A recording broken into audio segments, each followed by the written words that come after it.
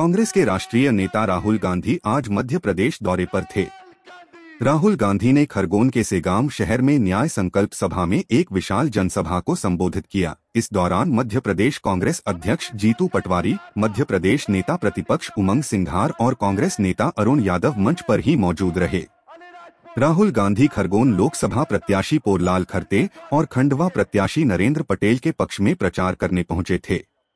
इस मौके पर राहुल गांधी ने प्रधानमंत्री नरेंद्र मोदी और बीजेपी सरकार पर जमकर हमला बोला। राहुल गांधी ने अपने भाषण की शुरुआत निमाड़ की बात करके की। उन्होंने कहा कि निमाड़ से लोगों का मजदूर के रूप में पलायन हो रहा है। निमाड़ में कॉटन इंडस्ट्रीज़ समाप्त कर दी गई है। छोटे उद्योग बंद हो गए हैं।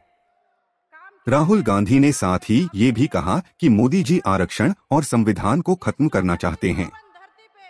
यही चुनाव का मुख्य मुद्दा है। उनसे पूछिए कि आरक्षण बढ़ाएँगे और संविधान को खत्म नहीं करेंगे।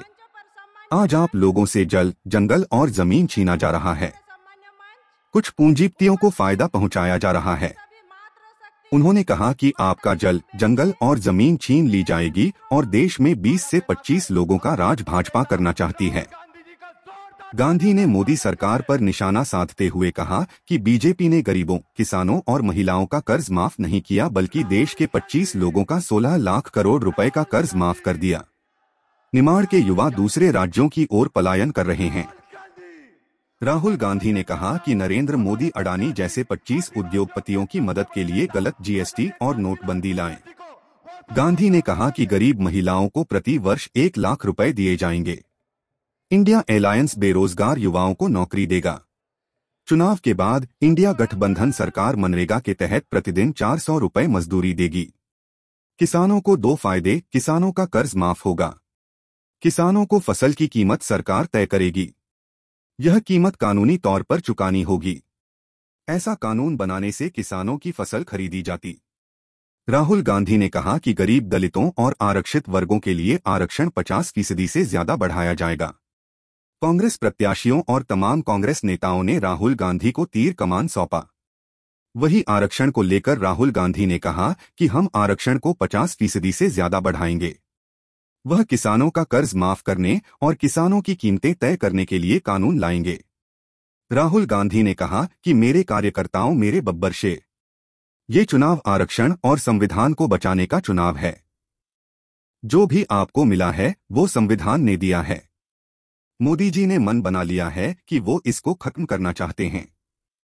अगर संविधान खत्म हो गया तो आपका सब छिन जाएगा। आदरणीय राहुल जी, नरेंद्र मोदी जी के हम भाषण सुनते हैं। वो आपको संबोधित करते हैं शहजादे से। कांग्रेस के शहजादे और नरेंद्र मोदी जी खुद को कहते हैं, मैं फकीर हूँ।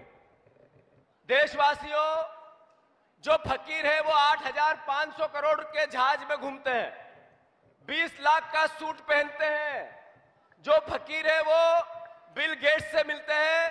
केवल 20-25 अडानी अंबानी जैसे उद्योगपतियों से मिलते हैं। हीरो और हीरोइन जितने भी एक्टर हैं उनके साथ फ़ोटो खिंचवाते हैं और सिर्फ़ फ़ोटो सेशन करके इवेंट करते हैं देश में। और जिनको वह शहजादा कहते हैं वो किसान से उसके खेत में जाके उसके साथ रोपाई करते हैं और उसके दर्द को समझते हैं। मैकेनिक से मिलते हैं, आदिवासी से मिलते हैं, युवाओं से मिलते हैं, जो जोमेटो में काम करते हैं, ऐसे वर्करों से मिलते हैं।